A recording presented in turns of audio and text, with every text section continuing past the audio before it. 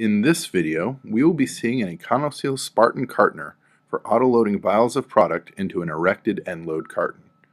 This machine comes with a 20 foot or 6 meter horseshoe belt conveyor, a 3.5 foot or 1 meter leaflet magazine to automatically insert a piece of literature under the vial just before loading, and a waterfall exit device to flip the cartons onto its side at discharge.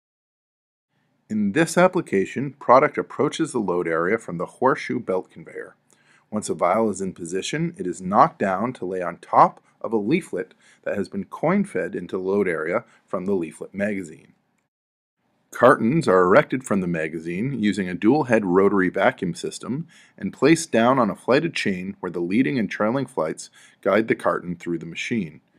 The machine is sensitive to such conditions as no product, no carton erect, and no carton, no product loading. The product and leaflet are loaded into the erected carton via a knockdown pneumatic in-feed accessory.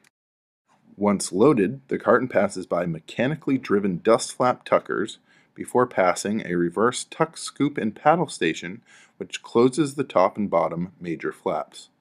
To secure the lock, the carton then passes by a tuck set assembly and is then automatically discharged down a waterfall exit device which flips the carton on its side to be taken on to the next step in the packaging line.